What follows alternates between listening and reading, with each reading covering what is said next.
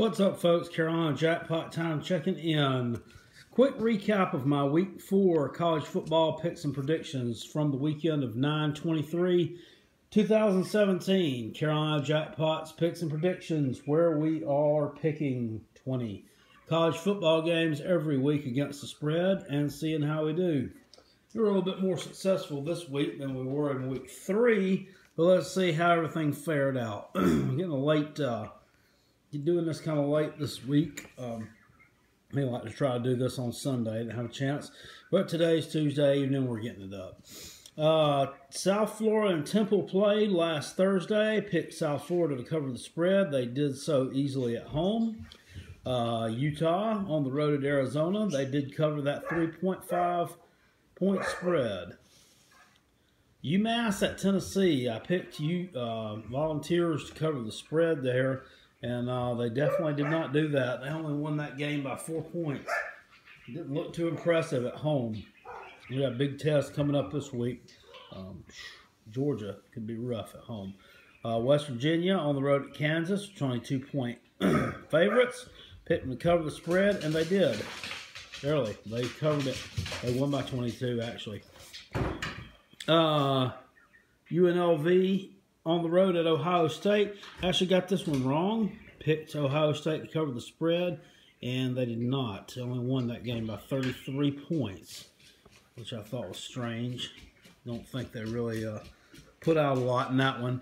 Texas A&M versus the uh, Arkansas Razorbacks, one of the most entertaining games, if not the most, of the uh, weekend.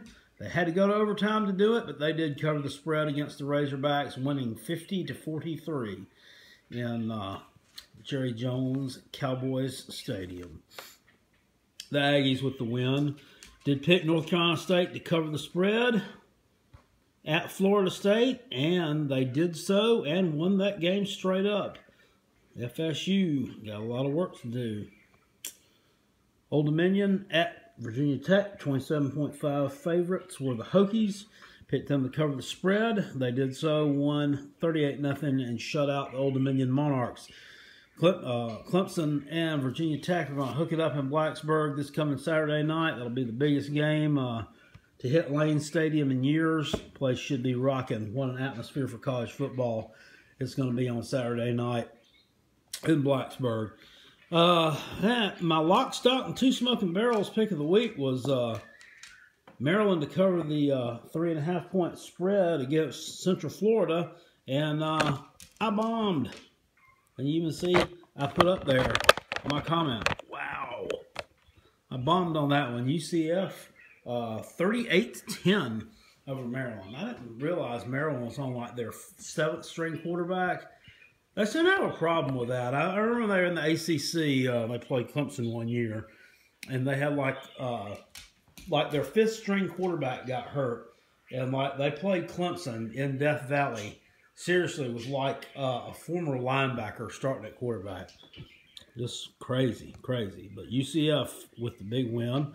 Uh, Wake Forest at Appalachian State uh, actually picked Wake to cover the five point spread in Kidd Brewer Stadium, and uh, they couldn't do it. Uh, it took a uh, block field goal and they won that game by one.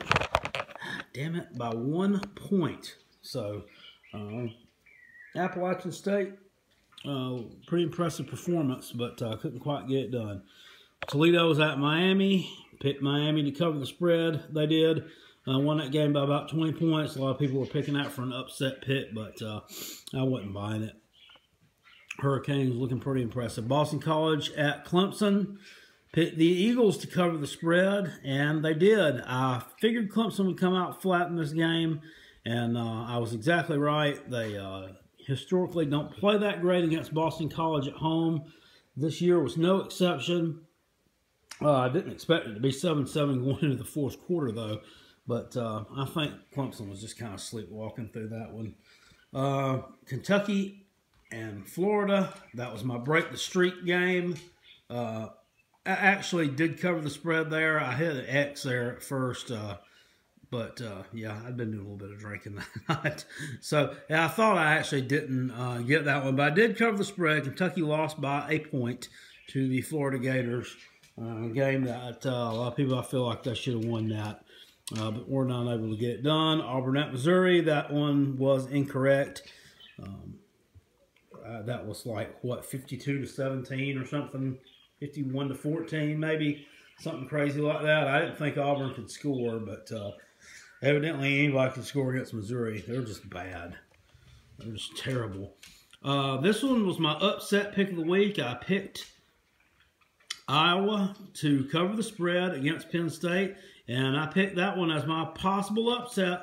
In fact, I went so far as to say I think Iowa was going to beat Penn State in Iowa City, and damn if they almost didn't. Took a touchdown pass on the last play of the game for Penn State to pull that one out, but we did get a check mark there because Iowa did cover the spread. TCU Oklahoma State, uh, along with everybody else believing in Oklahoma State, uh, didn't happen. Yeah, the defense got shredded.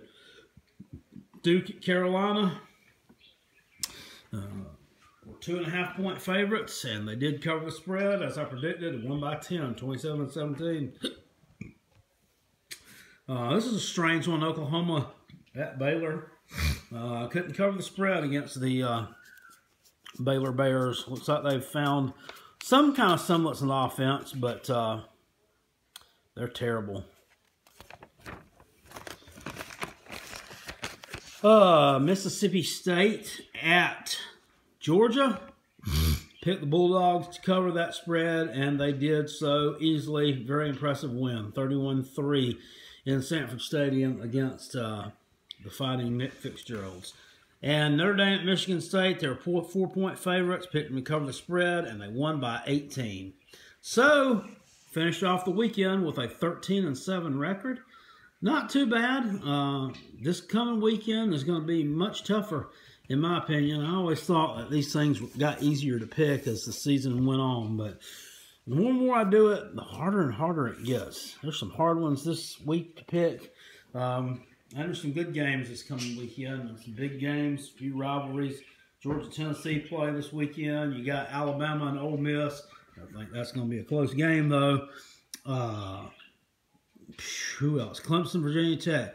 That's going to be the big one this weekend uh, in this part of the country anyway. So stay tuned for more Carolina Jackpot picks and predictions. We'll get those out sometime tomorrow. And uh, I hope you guys enjoy it. Hit the thumbs up and hit the subscribe button. I'll see you guys later. Peace. And I'm out.